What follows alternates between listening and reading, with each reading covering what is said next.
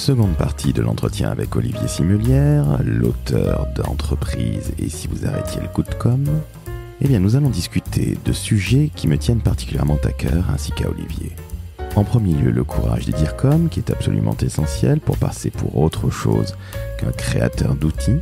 En second lieu, de l'image quelque peu controversée de notre métier de la communication, qui est, je le rappelle, tout de même le plus beau métier du monde. Et puis nous allons parler de la personnalité des DG, des patrons, vis-à-vis de la communication, comment ils l'aperçoivent et ce qui peut évidemment vous faciliter ou à l'inverse être très difficile pour un DIRCOM d'exercer, ainsi que son service communication. Et puis enfin, nous parlerons des valeurs d'entreprise, de la marque employeur. Et je vous invite également à écouter non seulement les conseils de carrière que va donner Olivier, mais aussi les conseils que donne Olivier aux entreprises. Vous verrez, nous parlerons de communication interne.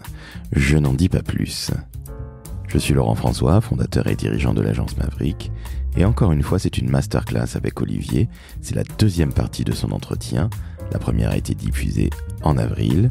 Et à l'époque, son livre, Entreprise et si vous arrêtiez le coup de com, n'était pas encore sorti. Sachez-le, il est sorti depuis le 2 mai 2024. Vous pouvez donc le trouver en librairie et bien évidemment sur Internet. Très très bonne écoute de cette seconde partie en compagnie d'Olivier Simelière, un très très grand communicant corporate.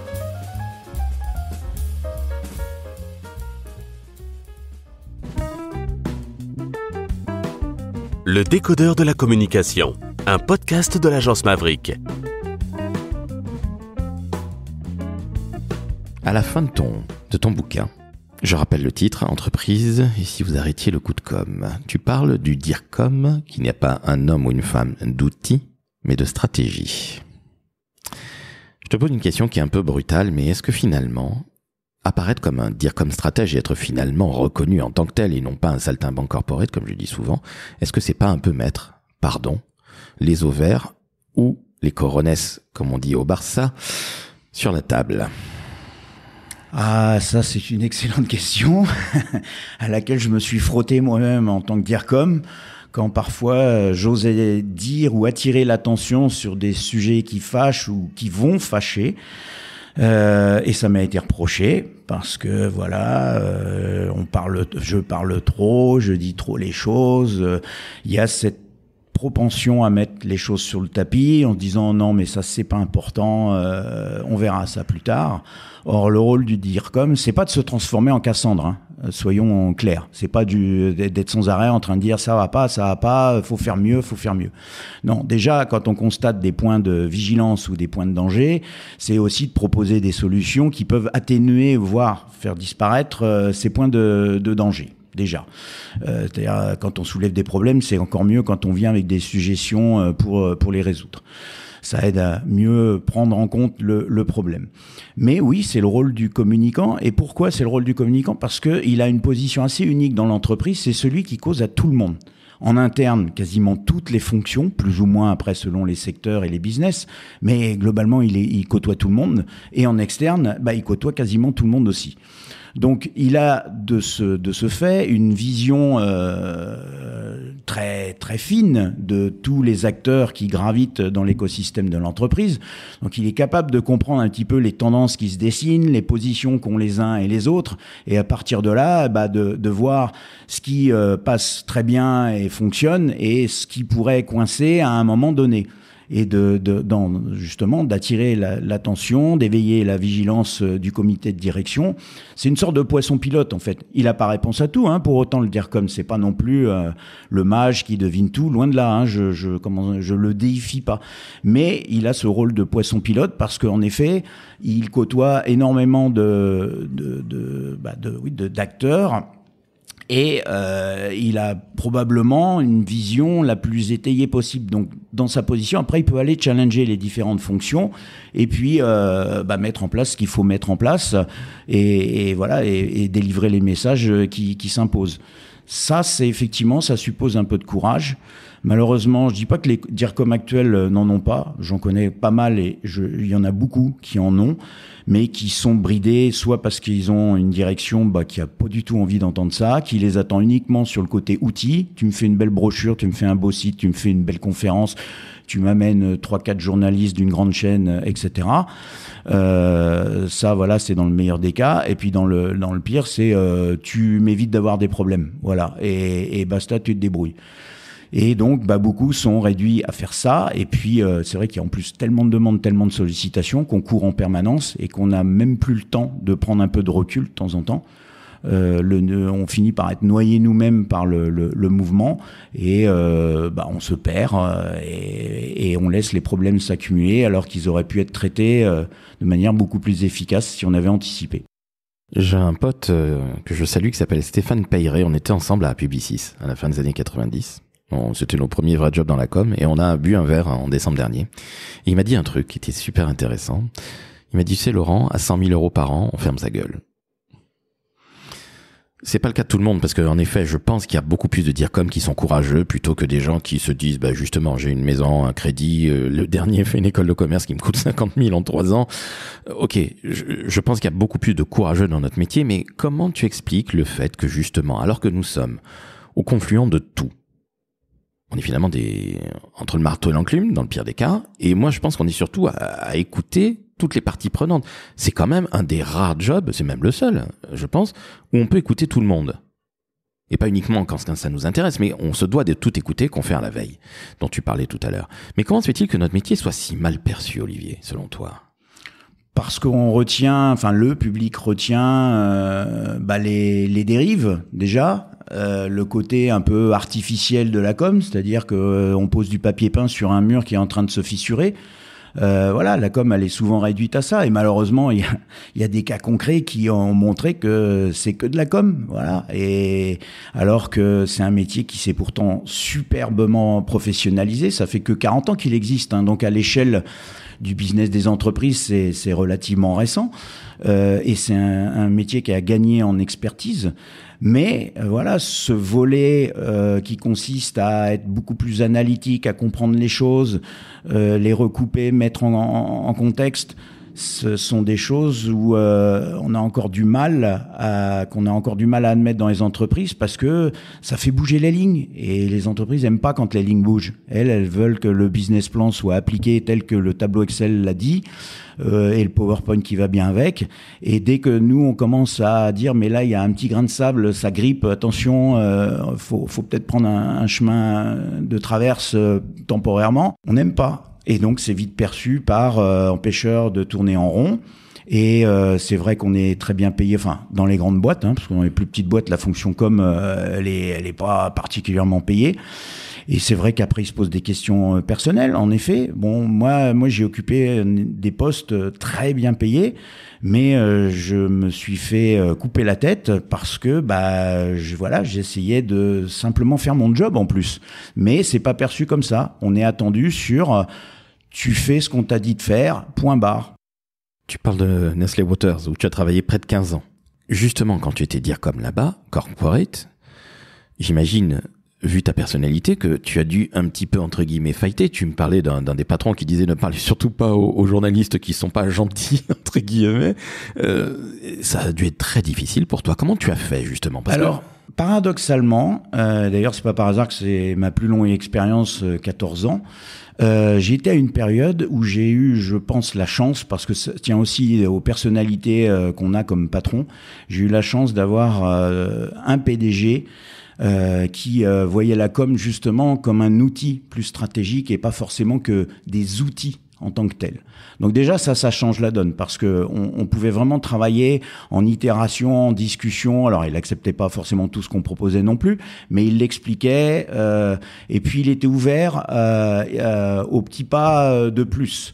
Euh, même si des fois il disait oh là euh, bon euh, ça va pas être un peu risqué c'est pas un peu compliqué puis il voyait que finalement non il n'y avait pas de risque et que ça, ça avait apporté des bénéfices mais oui au sein de la maison mère j'ai eu à échanger avec un, un homologue qui avait une vision des journalistes notamment complètement binaire où pour lui un bon journaliste était un journaliste silencieux et un mauvais journaliste, c'était bien sûr celui qui posait des questions. Et s'il en posait trop, on lui généralement lui balançait les avocats ce qui avait tendance à énerver le journaliste et, à générer encore plus de mauvais articles.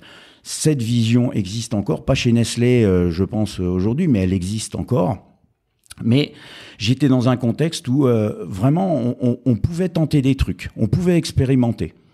Euh, c'est plutôt ces dix dernières années où je constate que là, c'est le repli général sur soi, c'est tous aux abris, pas de vagues, on évite les balles, on évite les coups, euh, et, et, parfois, euh, c'est, on dit même plus ce qu'on fait. C'est ce fameux green hushing qui apparaît dans l'environnement. Alors pour certains, c'est pratique, ça leur permet de, de, de rien dire parce qu'ils font rien. Bon, euh, mais il y en a qui font des choses mais qui ont tellement peur de se prendre des, des coups de latte que euh, ils vont plus dire parce que ils vont se dire oh, non mais de toute façon si je dis ça ça va être greenwashing et euh, je me fais encore plus démonter. Donc on est dans un truc qui, qui vraiment devient complètement délirant et je comprends que des, des DIRCOM se mettent en, en mode euh, pilotage automatique et euh, voilà je, j'évite les embruns, j'évite les grosses vagues et je fais mon, mon job. C'est dommage parce que je, je pense mais je, je les comprends hein, j'ai été dans cette position donc je sais ce que ça veut dire. Euh, mais c'est dommage parce que notre métier pourrait tellement mieux apporter. Notre rôle, il n'est pas de démonter ou d'emmerder au sein de l'entreprise. Notre rôle, il est au contraire de préserver, de nourrir la réputation de l'entreprise, avec tout ce que ça comporte en interne et en externe. Ça, c'est notre rôle. Je crois que je le garderai dans les archives, parce que dans les annales, pardon, parce que c'est absolument magnifique ce que tu dis là. C'est plein de bon sens. Encore une fois, le bon sens terrien ou le bon sens paysan. Vous, les plus jeunes qui nous écoutez, n'oubliez jamais ça et ne pensez pas uniquement euh, outils, etc., etc. On va clore euh, cet entretien qui est absolument passionnant. On pourrait rester des heures. Tu reviens d'ailleurs au passage quand tu veux, Olivier. Hein. Que tu aies un livre à sortir ou pas, que tu sois en période de promotion ou pas. On dirait un artiste. Ah, c'est beau. Je voulais parler de. Alors, c'est pas très sympa ce que je veux dire par avance. Je voulais parler de tarte à la crème. Je voulais parler des valeurs d'entreprise, la raison d'être. Alors, je trouve, et je l'ai dit plus d'une fois, que c'est de la tarte à la crème pour ne pas le dire autre chose. C'est pas idiot à la base. Les valeurs d'entreprise ne sont pas idiotes. Surtout quand on a à peu près la moitié des entreprises qui ont pour valeur l'innovation. Oui, non, mais ce que tu dis euh, est un constat euh, juste. Hein, ça serait vraiment malhonnête euh, de penser le contraire. Maintenant, sur le sujet des valeurs, euh, où j'ai beaucoup travaillé aussi, et ça, c'était le résultat a été euh, plus que décevant parce que voilà, on brainstormait, on faisait une jolie plaquette, et puis une fois qu'on avait fait ça, bah plus rien. Voilà, c'est une jolie plaquette qu'on donnait aux clients parce qu'on était tout fiers de dire qu'on était euh, leader de notre marché, euh, innovant, attentif à l'environnement. Bon. Attends, attends, je te coupe, il y avait quand même le site internet aussi. Oui, alors, il y a le site internet, mais bon, généralement, c'est pas la page la mieux affichée. Elle est quelque part dans un sous-onglet. Euh, il faut bien scroller pour la trouver. Bon, voilà, euh, c'est et c'est dommage parce que euh, tous autant qu'on est euh, individu ou, ou, collectif, on a des valeurs. C'est ce qui d'ailleurs euh, nous nous crée, nous donne du sens, nous donne du lien commun.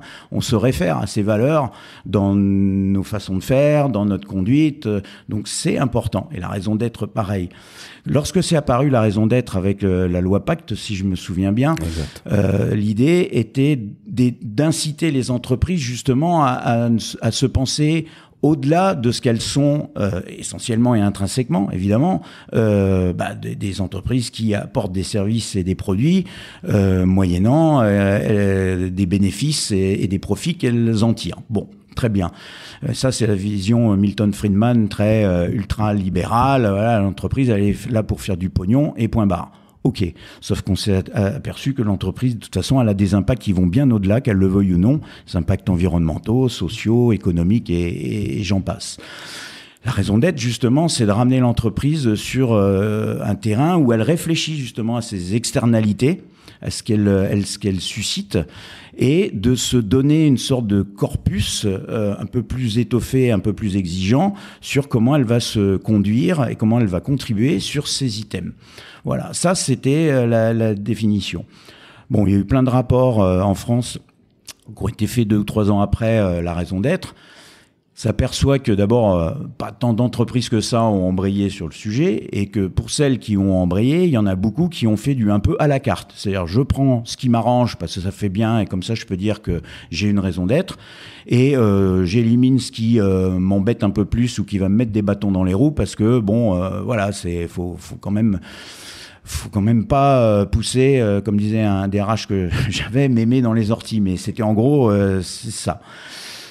Et ça, en effet, ça, le fait de se conduire comme ça vis-à-vis de la raison d'être, bah oui, on est dans la tarte à la crème, le côté j'affiche, et, ça se borne là. Et c'est dommage parce que les boîtes qui ont entamé euh, ces missions, il y a la Maïf par exemple, eux ils vont à l'entreprise à mission, euh, ils acceptent les paradoxes et certaines incohérences, mais ils n'opposent pas euh, bénéfice et euh, raison d'être et tout ce que tout ce qu'on met en place. Ça doit marcher de concert. C'est pas toujours évident, effectivement, mais euh, dans le livre, je, je, cite un interlocuteur de la Maïf qui dit euh, on peut pas faire l'un au détriment de l'autre, quel que soit le sens dans lequel on le prend.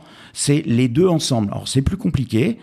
Euh, ça se heurte à certaines, euh, à certains doutes, à certaines critiques chez les actionnaires notamment, euh, parce que mon dividende, qu'est-ce qu'il va devenir?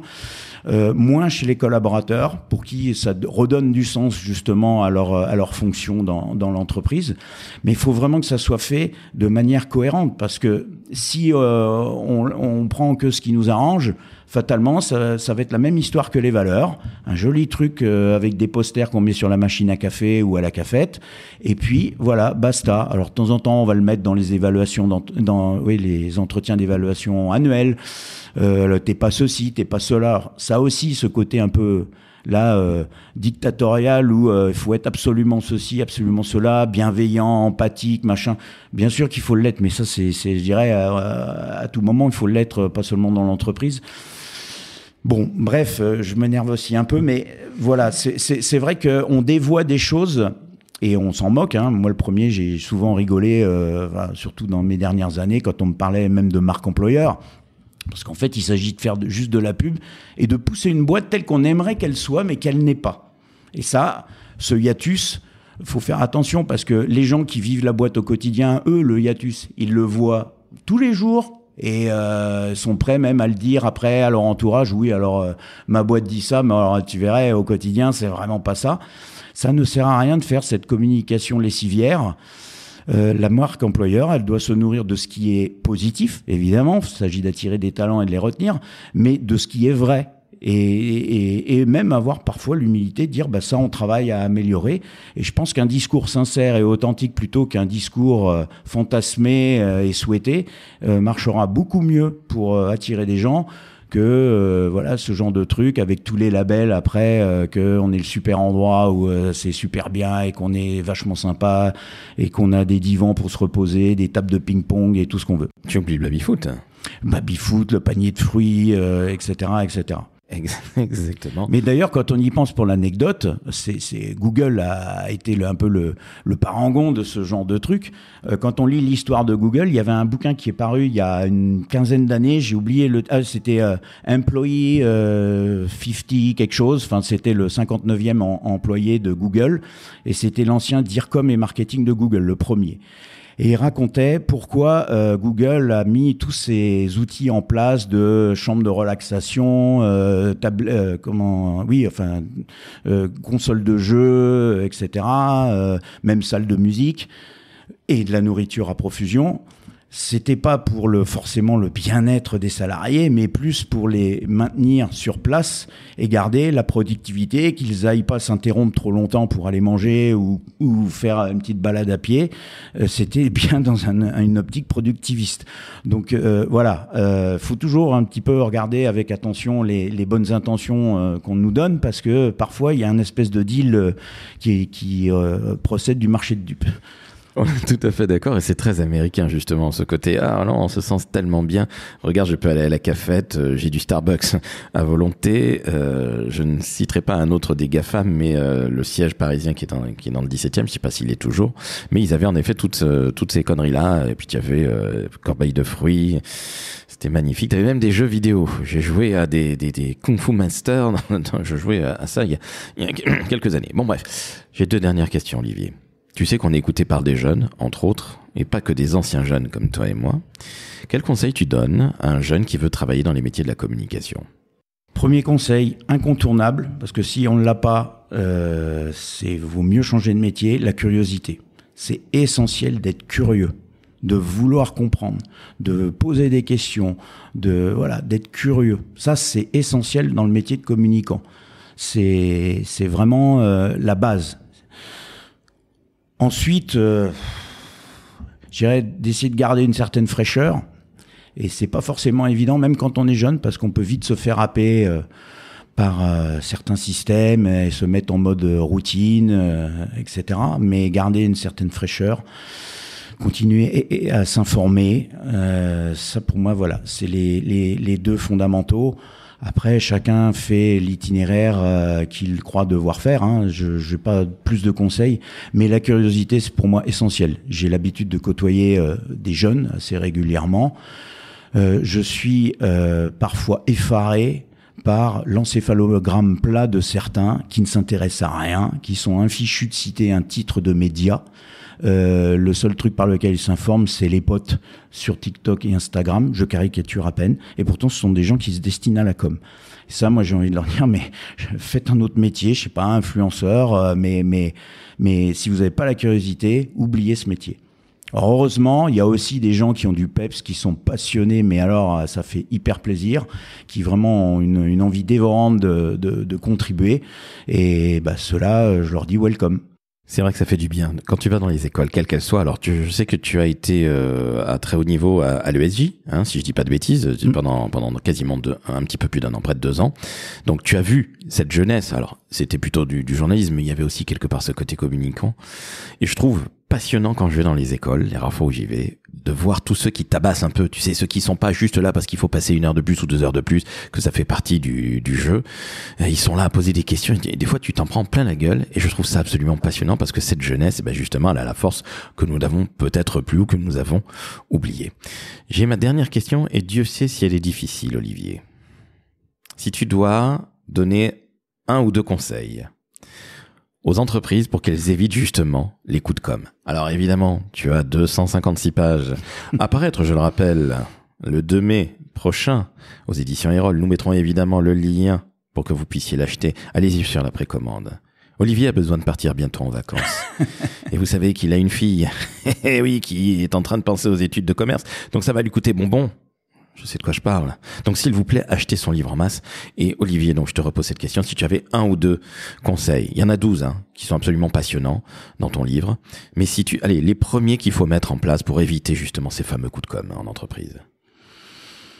Bah, je dirais redonner euh, tout son sens à la communication interne. Elle a malheureusement, j'en ai fait beaucoup de communication interne, elle a malheureusement toujours été le parent pauvre de la communication. Souvent parce que, et ça, des, deux DRH me l'ont dit dans ma carrière, parce que bon, en gros, euh, c'est un public acquis, quoi. Ils bossent dans la boîte, s'ils sont pas contents, ils vont voir ailleurs. Voilà. Ça, je l'ai entendu. Or, la com interne, elle aussi, elle a ses enjeux. Elle aussi, ça, ça c'est compliqué pour elle parce que les gens maintenant sont de plus en plus exposés à plein d'autres informations. Donc pour garder le, la cohérence du corps sociétal à l'interne, une vraie com interne est utile. Et je redis pas que par des outils. Évidemment qu'un intranet est utile. Ça, euh, voilà, faudrait être fou pour euh, s'en affranchir. Mais je regrette le temps de la revue interne papier qu'on prenait, euh, voilà, qu'on feuilletait, sur laquelle on revenait. Euh, pas forcément besoin de le faire paraître tous les mois, mais d'avoir ce temps de pause justement, de recul. Et puis, la com interne, ça passe aussi par du terrain, par des, des rencontres, euh, pas juste faire des visios à 5000 où le, on- alors le, le- techniquement c'est super beau, c'est généralement bien léché. Maintenant, on a des outils, des studios, euh, on sait faire du- des trucs super quali, mais d'avoir aussi des, petits instants où euh, les dirigeants de l'entreprise, je dis le comité exécutif, hein, parce que c'est quand même le cœur du réacteur, euh, prend le temps d'aller plus sur le terrain euh, et à tous les échelons. Ça, pour moi, c'est la première des choses parce que qui dit une com interne et j'irai un corps social cohérent dans l'entreprise, même s'il y aura toujours, bien sûr, euh, des endroits où ça coince un peu parce que bah, les choses sont ainsi. Euh, une entreprise qui a vraiment, euh, voilà, un vrai corps interne solide, bah, c'est une entreprise qui tourne bien généralement et ça, ça se sait. C'est positif pour nourrir la réputation. Donc ça, c'est vraiment la première chose. Et la deuxième chose, euh, il y en aurait plein, mais je vais, en je vais focaliser sur une, c'est arrêter de prendre les journalistes pour des panneaux publicitaires. Combien de fois encore j'entends euh, mais pourquoi il a pas il a pas j'ai pas dit ça euh, mais pourquoi il a pris cet extrait là et pas l'autre c'était vachement mieux euh, est-ce que je pourrais relire le papier du journaliste? Non mais les journalistes de toute façon ils sont tous là pour nous déglinguer et ça sert à rien de leur parler non, les journalistes sont ni amis ni ennemis, ils sont là pour faire leur job. Il s'agit de bien les connaître, euh, il s'agit de leur donner les bonnes infos concrètes et vous verrez, ça se passera bien. Moi, j'en ai fait beaucoup de la relation presse. J'ai eu dans ma carrière vraiment deux cas compliqués à gérer avec deux types de mauvaise foi euh, et un même vraiment tordu dans sa manière de travailler. Mais c'est tout. Tous les autres, ça s'est bien passé. Donc voilà, et c'était sur des sujets euh, pas toujours faciles. Hein, c'est bon, euh, et pourtant ça s'est toujours bien passé. Si vous travaillez la relation de confiance avec les journalistes.